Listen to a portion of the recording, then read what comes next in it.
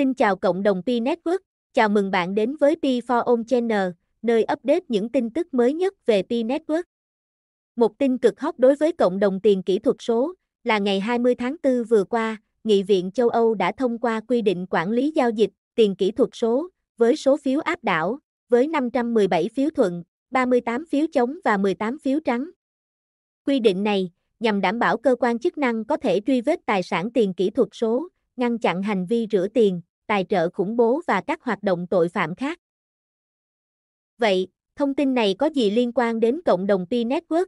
Tại sao Pi for lại đưa nó vào dạng tin tức mới nhất?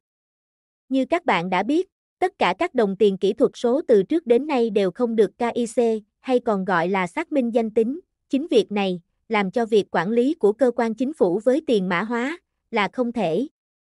Tất cả các chính phủ của các quốc gia trên toàn thế giới đều bất lực trước sự phát triển tự do của tiền kỹ thuật số. Nhưng khi có xác minh danh tính thì sao?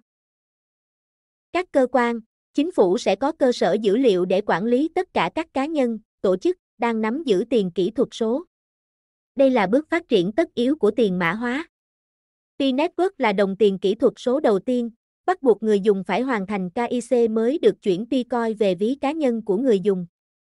Đến đây, các bạn đã hiểu vì sao KIC lại cực kỳ quan trọng, hiểu được vì sao Pico Team đã dành rất nhiều thời gian, công sức để phát triển và hoàn thiện KIC rồi chứ. KIC là một trong hai nhiệm vụ quan trọng nhất của giai đoạn mainnet kín. Trong một video ngắn, P4O mới đưa cách đây một ngày. Nicolas trả lời cộng đồng Pioneer trên kênh chat của Pi Network rằng, chúng tôi không thể cho bất kể một tài khoản giả mạo, hoặc trùng lập nào có thể qua được KIC. Có thể nói, Pi là một dự án mang tầm nhìn thế kỷ. Sau khi mainnet mở hoàn toàn, Pi sẽ là đồng tiền đầu tiên đáp ứng đủ các yêu cầu của đạo luật này, khi đó Pi Network sẽ được Liên minh châu Âu thông qua, và tiếp theo sau là tất cả các quốc gia và vùng lãnh thổ trên thế giới thông qua. Viễn cảnh như thế nào thì tùy các pioneer tưởng tượng nhé.